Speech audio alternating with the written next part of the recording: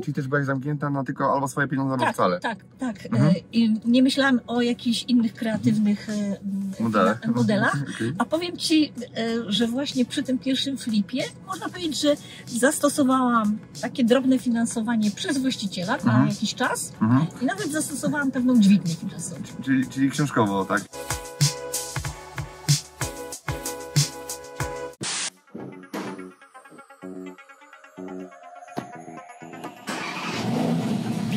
Rider.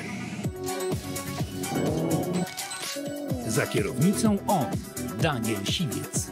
Na miejscu pasażera jego tajemniczy gość w interesującej rozmowie o nieruchomościach, biznesie i życiu. Cześć, moim dzisiejszym gościem jest Bogna Kocich.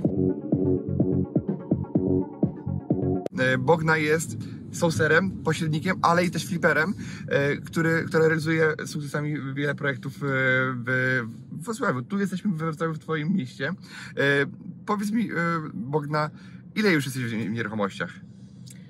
No, z 9 lat. No właśnie, bo my się poznaliśmy 9 lat temu, no, właśnie na szkoleniu i zrobiłaś już no, naprawdę kilkanaście fajnych transakcji, właśnie z takimi odłożonymi, prawda? Bo Tak, tak. E, 99%. tak, to były problemy, problemy e, z nieruchomościami e, i dlatego postanowiłem zaprosić Bognę, żeby powiedziała jak, jak ona to robi, e, jak wyszukuje, ale też chcę wam pokazać, że te sposoby dotarcia to jest jedno, ale też, e, bo jakby rozmawialiśmy z Bogną wcześniej, to Bogna powiedziała, że jakby doszło do pewnej transformacji, pewnych wniosków, które były być może dla niej nawet istotniejsze niż te sposoby pozyskiwania. Zanim byłaś e, w nieruchomościach, to robię coś innego jeszcze robiłaś, prawda? Czyli jakby powiedz coś w ogóle, od czego zaczynałaś. Od, czego zaczynałam? Generalnie zaczynałam od, od pracy w biurze projektów, Mhm. a później po transformacji miałam swoją firmę krawiecką. Też parę dobrych lat. Mhm. A następnie po kryzysie bardzo znanym, 2008 rok, e, no trochę refleksji e, i kompletna jakby zmiana, czyli zamknięcie tej firmy. No i wejście w nieruchomości, które zawsze chciałam robić. Mhm. Mhm. Ale robiłaś to, to e, tak jako... Miałaś swoje biuro nieruchomości, byłaś pośrednikiem, prawda? Tak, byłam pośrednikiem. I, e, no i właśnie, powiedz jak to działało i co robiłaś? Żeby wejść, zawsze mówią, e, najpierw czytałam książki. Mhm. O, od tego. No właśnie, Tak. czyli jakby się zachwycałaś tymi książkami, które są. Tak. Moje jeszcze nie było wtedy, bo ja jeszcze wtedy, wiesz, e, sikałem bajtki w tej branży, e, jak, jak ty się tym interesowałaś. E, Albo stawiałem pierwsze kroki, może, może, może nie, nie aż tak, no. E, Tak, no, no i inne książki, no wiadomo, to Kiyosaki, Bi- Biedny, Bogaty, Tak, tak. Ojciec i tak dalej. To, to zawsze jest interesujące, przynajmniej na początek. Zawsze jest taką, takim motorem Mhm. troszeczkę do, do, do przemyśleń i do działania. E, Gdzieś tam kiedyś wyczytałam, że trzeba wejść w korytarz, tak? Mhm. W dany korytarz. No i moim wejściem w korytarz było, było podjęcie pracy jako o, pośrednik w nieruchomościach, aczkolwiek nie było to jakoś tam długo, bo chyba nie z półtorej roku do dwóch lat, już tak nie pamiętam. A, Ale e, już wtedy, już wtedy właśnie myślałam o szkoleniach, żeby robić jeszcze coś innego, samo pośrednictwo jakby mnie nie kręciło. Mhm. E, I dzięki temu znalazłam się na szkoleniu, mm, gdzie spotkałam też właśnie Daniela.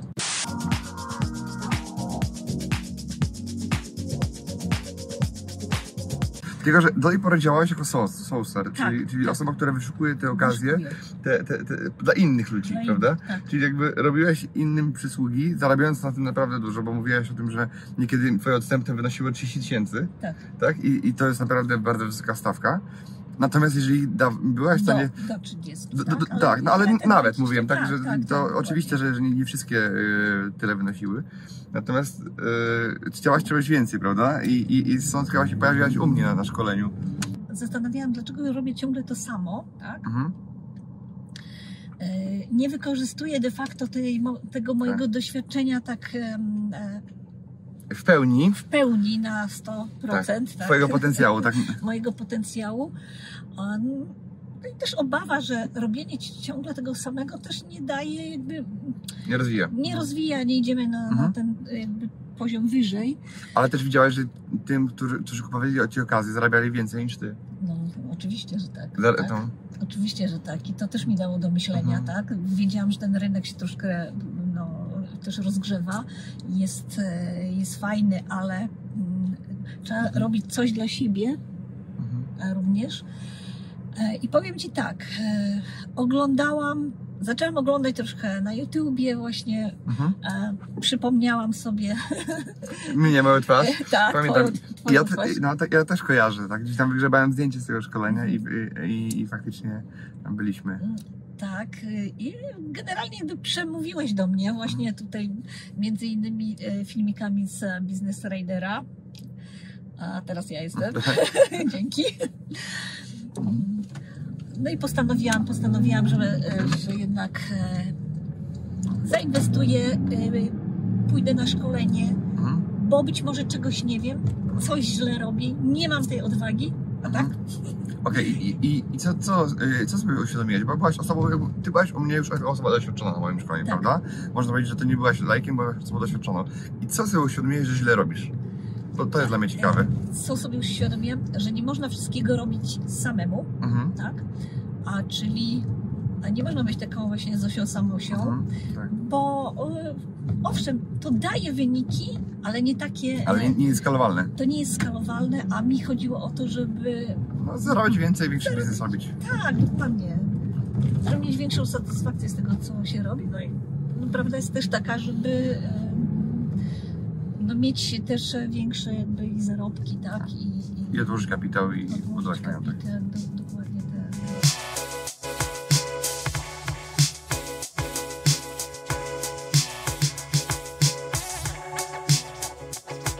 Że się widzimy na, na innym szkoleniu, na flipach hurtowych i bardzo się cieszę, no bo jesteś, myślę, że odpowiednią osobą, żeby na to szkolenie przyjechać, żeby swoją skalę jeszcze zwiększyć, prawda? I nawet koleżankę namówiłaś, tak? Tak, tak, tak, tak. Moją przyjaciółkę, z którą w tej chwili też tam troszkę Mhm. działamy Mhm. e, wspólnie, e, namówiłam ją i ona też będzie. Okej, no to super. No to, to teraz e, mam nadzieję, że spotkamy się za dwa lata i się okaże, że, że tych flipów na koncie już jest tam przynajmniej z 20 dodatkowych. E, I to No. myślę, że w innym miejscu te- też będziesz, no, prawda? no oczywiście, no oczywiście. A z czym miałeś największy problem w tym biznesie flipowym? Powiedz mi, jakby, co było dla Ciebie tak największym wyzwaniem?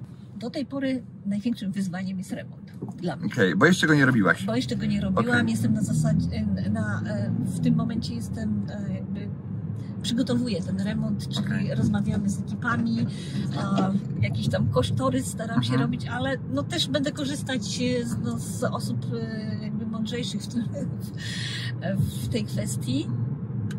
No jasne, ale powiem Ci, ja z doświadczenia, że on, to remont nie jest naj- najtrudniejszym elementem, że dużo łatwiej jest e, znaleźć kogoś, kogoś poradzisz, niż w tym, co Ty robisz na przykład. Poradzić sobie, jak znaleźć rozwiązanie sytuacji. Prawda? No wiem, wiem.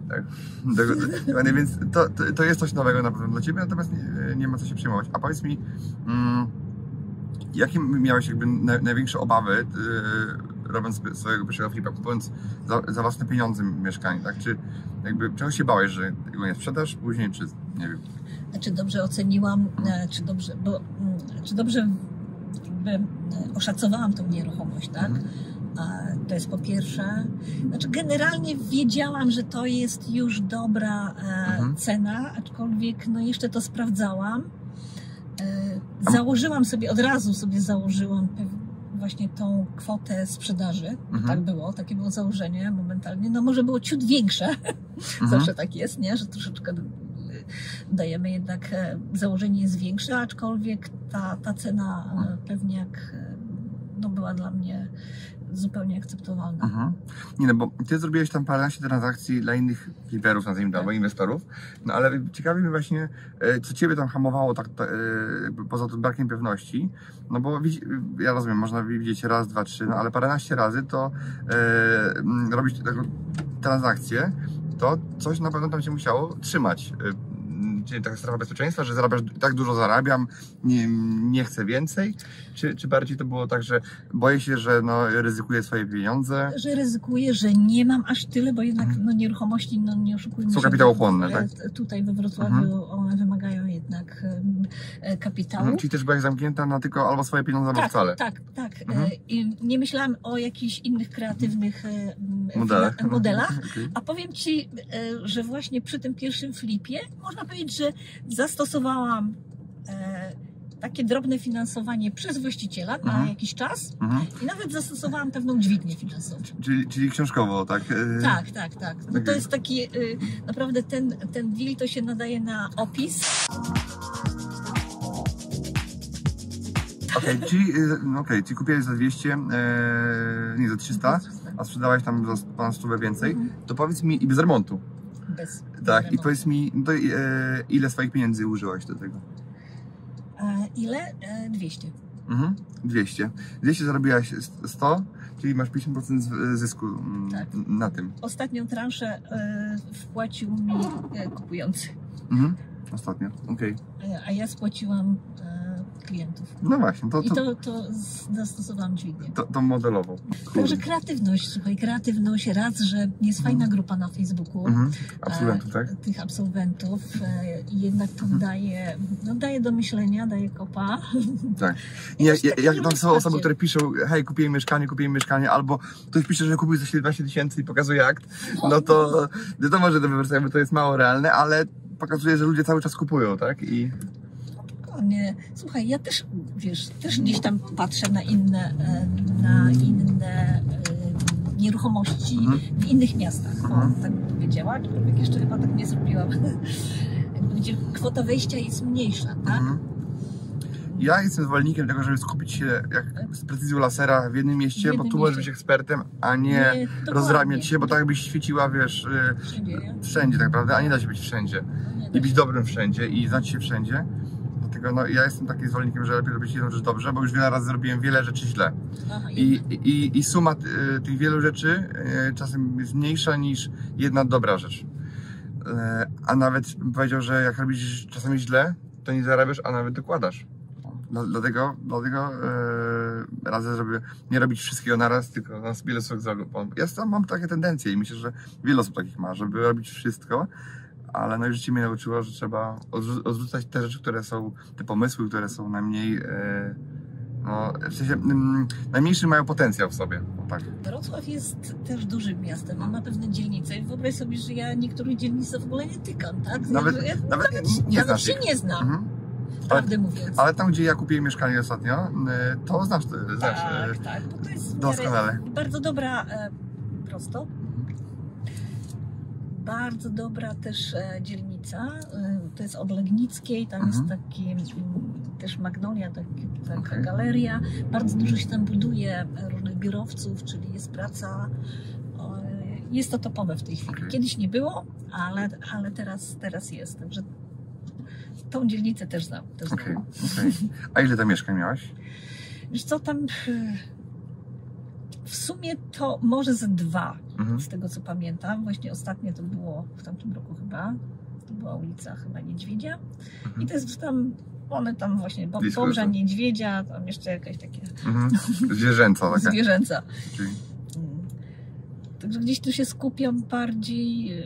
Jest, jest stara dzielnica nad Odrze, ale też jest bardzo dobra. Tam Mhm. żeśmy przyjeżdżali okej. przy tych mostach.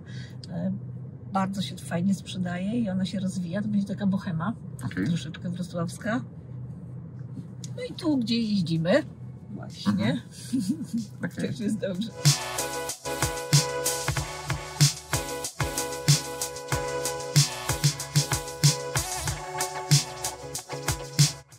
Powiedz mi, jakie masz teraz plany na kolejne miesiące, czy nawet lata, tak? E, Co byś chciała e, zrobić? Czy, nie wiem, zwiększyć ilość flipów? Czy, nie wiem, e, robić większe rzeczy albo kamienice całe od razu? Znaczy powiem tak, zawsze moim marzeniem gdzieś tam były te kamienice. Mhm. No, na tą chwilę być może to się nie, nie będę porywać, Mhm. ale nawet mam taki rodzaj swoich, e, swoich dokumentów, tabelek. Mam tu parę, parę kamienic, które są do Mhm. kupienia w, e, Mhm. we Wrocławiu. Mam nawet e, techniczne opisy, wszystko. Mhm. Wszystko to jest, sobie No gdzieś i? leży. Ale to jest za duże przedsięwzięcie, jak w tej chwili dla mnie. Okej, a ile trzeba wydać pieniędzy na, na te kamienice, o których ty mówisz? Na kupno. Mhm. Generalnie gdzieś w tamtym roku jeszcze było po 4 miliony, nie wiem jak teraz, Mhm. bym musiała to e, e, sprawdzić. Jest parę, ale to w bardzo dobrych lokalizacjach Mhm. tutaj topowych. Dwie są przy dworcu. To nie wydaje się dużo. Nie wydaje się Z mojej w perspektywy z w Lublina. tej, w tej chwili. Mhm. Tak, tak, tak. Aczkolwiek- Pytanie jaki metraż, no bo jak to jest. Ja mam wszystko, pumy, Jak to jest, metraże. jak to jest 500 metrów, to. to... Nie, nie, nie, to są e, po około 1500 metrów Mhm. kamienice, także są obliczone pumy. Chyba do tych dwóch kamienic nawet mam projekty, wiesz, Mhm, e, bo tam będą nadbudowy. jasne. No to może, może ktoś się do ciebie zgłosi, kto będzie miał kapitał i z nim zrobisz, tak? No. Bo to kapitał się ogranicza E, wyłącznie, K- tak? Kapitał. Jest jeszcze taka mała e, też kamieniczka mm, przy Arsenale, aczkolwiek tam jest jakby, ona jest w bardzo złym stanie. Mhm. A miałeś taki moment, który już myślałeś, że, mm, że coś będzie nie tak z jakimś mieszkaniem, na przykład, że coś nie wyjdzie, znaczy to, że są zwroty i upadki, jakby, że się myślisz, że No już się właściwie rozmyślił albo znowu, to to jest normalne, tak? Ale pytanie, czy e, pod kątem, nie wiem, dokumentów, pod kątem tego, że coś, Że czegoś się nie da? no, Naprawdę mówiąc, wiesz co, ja jestem e, taka, mm, nie wiem jak to określić, że e, raczej się nie poddaję, wiesz? Mhm. Raczej się nie poddaję. E, jakby do końca staram się, no jak nie wyjdzie, to nie wyjdzie, tak? To- Ale i to jest nie taka- odpuszczam, nie odpuszczam, Tak, i to jest taka cecha, która po prostu determinuje też duży sukces. I powiedział nawet, że najważniejsza dużo niż ta wiedza, którą masz, doświadczenie, które masz, jakby wie- wiedza, którą masz, e, jakby nie jest aż tak ważna ni- ni- niż to, ta determinacja, bo ja znam wiele osób, które mają wiedzę ogromną, ale po pierwsze nie wiedzą, nie znają tych modeli. Na przykład jest dużo prawników, wielu prawników, którzy mają wiedzę równie dużo nieruchomościową, ale co z tego, jak oni sprzedają swój czas za godzinę, e, nie zawsze bardzo intratnie, różnie to bywa, e, a mogliby wykorzystać tą wiedzę do robienia biznesu, tak? I, no. Ale gdyby mieli tą wiedzę, którą ja mam, to pewnie nie byli prawnikami. Tak często powtarzam, że, że pewnie woleli robić to, co my na przykład. Tak? I są u mnie też prawnicy e, na szkoleniu. Nawet, że myślę, że był lekarz. Le... Się śmialiśmy, czy jest na sali lekarz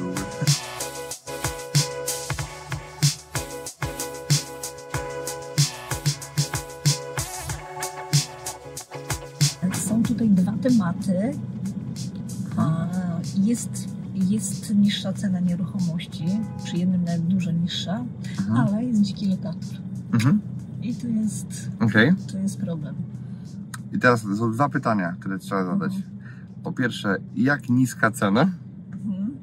Po drugie, czy się da z nim dogadać? Czy- Czyli jakby tak wytłumaczę te pytania. Jak niska cena, czyli ja bym, jeżeli już w ogóle bym rozważał w ogóle rozmawianie o tym temacie, to tylko wtedy, kiedy to jest kupione za totalnie grosze.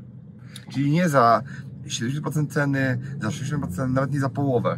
No, no niestety, ale aż tak nie jest. To, to okej, Czyli to, jest to w pierwsze... e, granicach 65-70. To właśnie, to, to już nie jest okazja, bo, ta, bo to, to można kupić mieszkanie w takich pieniądzach procentowo e, bez lokatora. Mhm. Po pierwsze. Po drugie, czy da z nim dogadać? No, na tą chwilę to jeszcze nie wiem. Mhm. Miałam się spotkać e, z właścicielką jednego z tych mieszkań. Bo czasami jest tak, że on ma konflikt z właścicielem, a Tak, ty jesteś osobą trzecią, która można powiedzieć wejdzie e, nie w buty właściciela, tylko w, mm, w buty osoby, która chce pomóc i się dogada, czy dostanie pieniądze, wytłumaczy się tej osobie, jaka jest procedura, że ona i tak i tak tutaj długo nie, nie posiedzi. E, to jest jakieś rozwiązanie. A na pewno bym nie kupował na coś, dobra, wezmę, kupię taniej i sobie coś z nim zrobię, albo go wygonię, albo coś, bo to jest później e, no, problem prawny też. No. nawet nie, nie tyle prawny, bo prawny no to mogę da- dać prawnikowi pełnomocnictwa i tylko go tam pilnować, żeby on działał. Tak? Natomiast to nie, nie jest do końca tak, bo to będzie trwało latami. A jakbyś chciała to robić skutecznie, to, to, to musisz się angażować i to będzie tyle energii kosztowało, tyle stresu, tyle problemów. E, nie wiesz, kim jest ta osoba, czy to jest normalna osoba, czy jakiś wariat. E, I wchodząc, jakby kupując to mieszkanie z problemem, często e, nie dogadując się, nie znajdując zdania, ten problem jest twój. Staje się twoim problemem. To, to jest tak, e, że ja takie ostatnio sobie wymyśliłem. Komuś tam napisałem w, ramach rady mojemu absolwentowi, że nie pożyczaj pieniędzy nigdy, bo jak pożyczysz pieniądze, to czyjeś problemy komu chcesz pomóc, staną się twoimi za chwilę. To się mówi o tym, że nie pożyczaj, jak chcesz stracić przyjaci- przyjaciela, to pożycz mu pieniądze. Jest tym dużo prawdy, ale no właśnie z tymi problemami jest też identycznie. Tak samo jest tutaj, że chcesz komuś zarobić, ale nie masz na to gotowego sposobu i pewniaka. No właśnie, teraz jeżeli chodzi o mieszkania, to ja bym odradzał tobie. Czyli kupuj tam, gdzie, gdzie wiesz, że na pewno. Chyba, że kupujesz na zasadzie, coś warte 100, a ty kupujesz to za 20 i na zasadzie, jakby nawet on się nie wyprowadził, to i tak, i tak, że, wiecznie żyć nie będzie, no. Nie, to nie aż takiego przełożenia. No właśnie, to nie dlatego odpuść tę sprawę, bo, bo, bo to, Bo to, szkoda, to cię nie? zi- zniszczy emocjonalnie i, i no jak, może być prosty temat. Ale prawdopodobnie nie jest prosty, bo, bo, bo gdyby był jest. prosty, to już by ktoś sobie poradził i nie dawał ci takiego rabatu. A druga sprawa? E, Znaczy też bardzo podobna, nie? E, Mhm. Czyli też jest lokator. I tutaj wyobraź sobie w tym jednym, to właścicielką jest, a właścicielką jest pani prawnik. Ale ona, Właścicielką, ale nie lokatorką. no ale ona chce się tego wyzbyć, tak? Mhm, czyli już chyba doszło do granic i popatrz sobie, jak prawnik to sprzedaje, no naprawdę nie, nie, Nieciekawie. nie, nieciekawie e, to wygląda. Dlatego często nie jest kwestia pra, prawnego rozwiązania, tylko nazwijmy to Ludzka też, nie? ludzka, ludzka a, a nie wszystkie problemy ludzkie da się rozwiązać prawem. No dokładnie. Więc podejrzewam, że. że... Nie, to tak pytam się ciebie, znaczy ja widziałam, że ty jesteś e, raczej przeciwny, Mhm, e, bo gdzieś, gdzieś to już usłyszałam, tak? mhm. E, No ale te tematy do mnie, do mnie I też na szkole mówię, że ja nie kupuję na licencjach komorniczych mieszkań, no, no, bo, no bo to się. Tak. No ja z samymi komornikami jak rozmawiam, to oni mówią, że sami mówią, że nie opłaca po prostu. Nie tyle, że jest, nie jest tanio, bo jest tanio, ale da się na tym zarobić. Natomiast to jest długo, problem z ludźmi, którego nie ma, którego nie ma w Polsce roz- rozwiązania dzisiaj, tak? Opowiem właśnie taką rzecz, teraz mi się przypomniała. E, odnośnie tego, żeby nie odpuszczać. E, właśnie był, e, był pan, gdzie ja tam wysyłałam listy, raz, drugi, trzeci. Byłam chyba pod, też pod drzwiami, ale nic, albo go nie było, albo nie otwierał. I wracałam gdzieś tam z trasy, a ponieważ to było po drodze tam, gdzie mieszkam, mówię, a sobie zajadę. I to było dwa dni przed licytacją. Mhm. A, I pan sobie stał w oknie i Mhm. mi otworzył. Mhm. No i doszło do transakcji. No i da, Czyli, czyli wniosek jest jaki? Nie odpuszczać. trzeba chodzić cały czas i, i atakować, tak? No bo raz ci się nie uda jedną metodą, to trzeba drugą, po prostu. Ale to było tak, ryzyk fizyk. A dobra, zajadę Tak, tak, sobie. tak, tak. Może, No i- akurat. I, i, i to jakby ym, powiększyło twój portfel wtedy, nie? Także super. Bogna, dziękuję Ci że, za wystąpienie w Business Insiderze. Ja również, myśl- za zaproszenie. e, Myślę, że spotkamy się za dwa lata i, i zobaczymy, jakby ile zrobiłeś od tego czasu transakcji. E, A my się widzimy za dwa dni z kolei w Lublinie, bo jesteśmy teraz we Wrocławiu, a e, za dwa dni się widzimy w Lublinie na, na szkoleniu flipy hurtowe. E, Także trzymaj się i do zobaczenia. Dziękuję bardzo, dzięki za zaproszenie.